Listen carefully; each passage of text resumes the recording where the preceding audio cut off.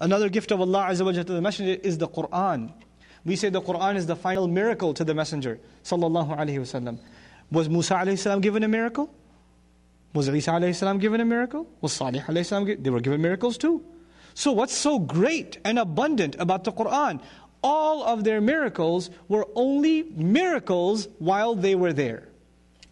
After they died, those things were no longer miracles, they were only stories that can be narrated. In other words, somebody who saw Musa alayhi salam turn the staff into a snake can one day tell their child, You know what I saw with my own eyes? And then that child will say, You know what, my grand, what your grandfather told me?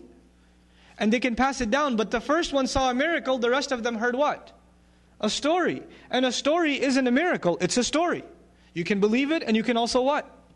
Disbelieve it. But a miracle is something, it's in your face the messengers is the only miracle, sallallahu alaihi wasallam, that lives on and is as convincing as it was when it was revealed. The miracle lives on. The proof that the Quran is the word of Allah, the arguments of the Quran, the hujjah of the Quran is as valid today as it was then because, because all the other messengers were given miracles for the eyes to see. But this messenger, predominantly, he was given a miracle for the ears to hear, and we still have ears making hear the same exact message. Subhanallah. It's something incredible Allah gave His messenger. Right? Allah guaranteed His messenger victory. Sallallahu. This is part of the good He gave him. You know, there are other messengers that came 950 years, no victory on the earth. Except the believers had to escape and the town, the world had to be destroyed. but Allah Azza wa gave this messenger victory. Now I want to talk to you about that victory for a second. What's even miraculous about that victory?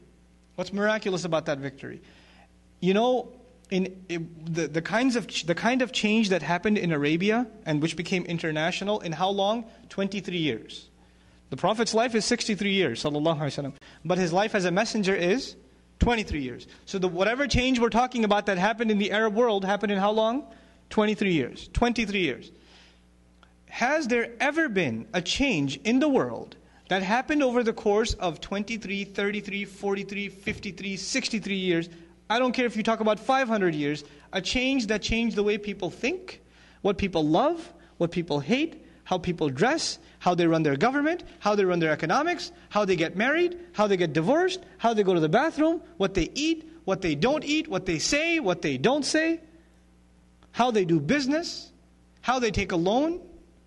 It changed every aspect of their life in how long? 23 years. 23 years. You know, in world, those of you that are in high school, you take global history and you learn about revolutions. You learn about the Bolshevik Revolution in Russia. You learn about the French Revolution in Europe. These revolutions were either political or economic. They didn't change the ethics of the people. They didn't change how people eat and sleep and drink. They didn't change what people love and hate. They didn't change how people dress. Nothing else changed. One big change over the top, and that's it. And even those changes were brought about by people who read the works of philosophers, and those philosophers lived decades before.